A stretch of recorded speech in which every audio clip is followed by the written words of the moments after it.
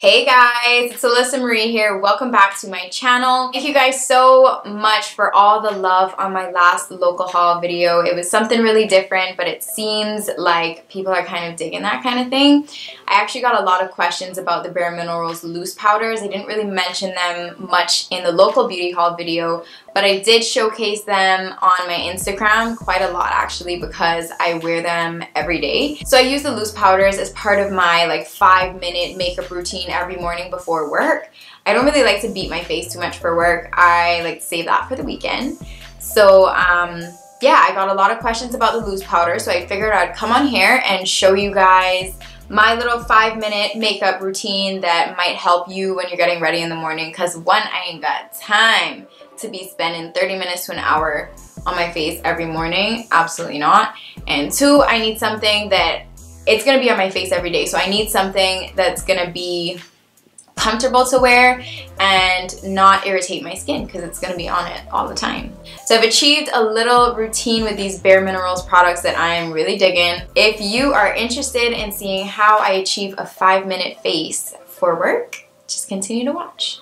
Okay, so I zoomed in a little bit so we can get in on the action here. So I already have moisturizer on my face, so I'm just gonna go ahead and prime with their foundation primer.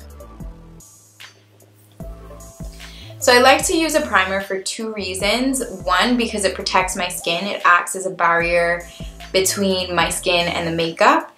And two, it gives the loose powders something to stick to. It helps the loose powders to give me a little bit more coverage. Alright, so next I'm going to take their original loose powder foundation in the shade Golden Tan. This is slightly too light for me, so I like to focus this on the places of my face where I would highlight. So under my eyes, a little bit on my chin, and a little bit on my forehead. So I prefer to use the original finish rather than the matte finish powder. I just think with powders, my skin can kind of just get too dry, especially if it's like a matte powder. So I prefer to use something with a more natural finish. Alright, so with the loose powders, to avoid getting into a crazy mess, I just tap a little bit of the powder into the cap and then I take my brush and just swirl it in the cap. Alright, so like I said, I'm just to focus this on the areas of my face that I want to brighten up. And another thing I like about these powders is that they have SPF in it, so like perfect for daytime wear. So I don't know if you can see a difference on camera, but this is just kind of brightened up those areas a little bit. Alright, so now I'm to take their all over face color, which is another loose powder, in the shade Warmth, and I'm just to use that to warm up the other parts of my face. So I kind of just go in with this like a bronzer. I just feel like bronzer just automatically snatches your face. Like it gives you some dimension, makes you look a little sun-kissed, and what more could you really ask for? So again, I've just tapped a little bit of product into the cap and I'm just swirling my brush in the cap.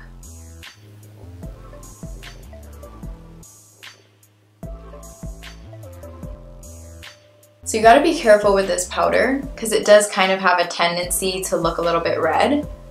Um, you just gotta make sure that you blend it out. Do we see it happening? I feel like it kind of just gave me some warmth and a little bit of life to my face. Alright, so next I'm going in with the blush. It's the blush in the shade You Had Me at Merlot. I did feature this in my last video, so I'm only going to go in with a little bit. This is like super pigmented, so I have to be careful with how much I put on the brush. And just focusing this on like the apples of my cheeks. I always put too much.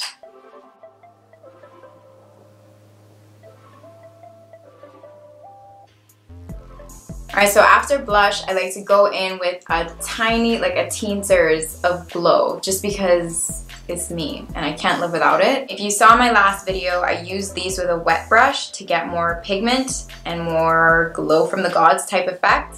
For work, I like to be a little bit more subtle, so we're gonna use this with a dry brush and kind of just dust it over the cheeks for like a little subtle, natural glow that's just cute. So I'm to mix glistening topaz and rose quartz.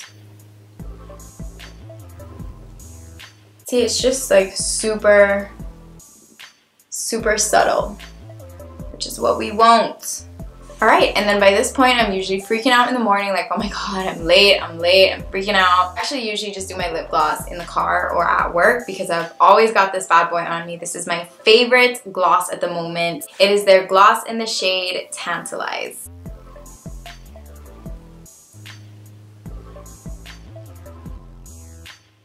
How delicious is this color though?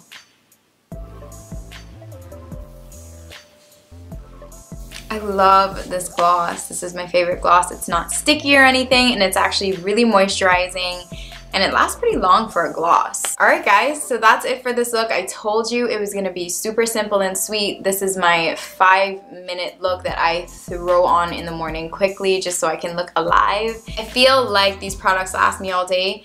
However, my job is a desk job. I am sitting down in AC all day so that probably has a lot to do with that. They're pretty lightweight and you shouldn't expect them to like beat your face to the gods but if you just want something to make you look a little bit more alive um, with a little bit more color, slight bit of definition, but you still look kind of natural, then I would say the loose powders are for you.